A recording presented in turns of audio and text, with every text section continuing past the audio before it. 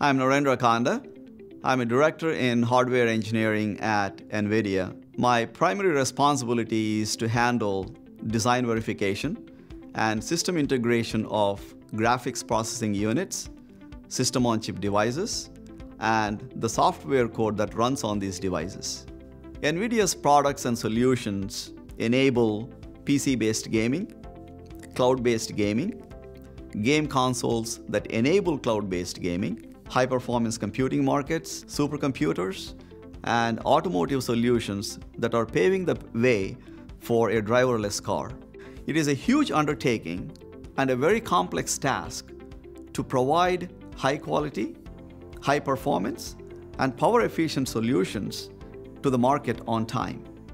To design and verify our complex chips, it requires us to employ a very sophisticated set of electronic design automation tools.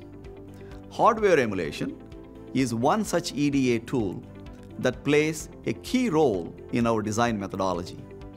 We used hardware emulation technology from Cadence to design our GPU architectures like Fermi, Kepler, Maxwell, and Pascal, as well as Tegra SoCs.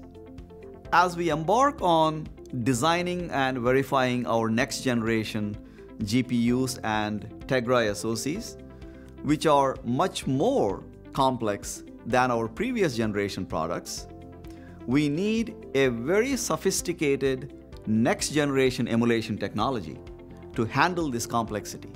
After careful thought, we decided to use Palladium Z1 emulation technology as part of our design methodology to design our future chips. Why did we decide to use Palladium Z1 in our design methodology? It is the key features of Z1 that convinced us, like a very high capacity that is capable of emulating billions of transistors in a very small form factor.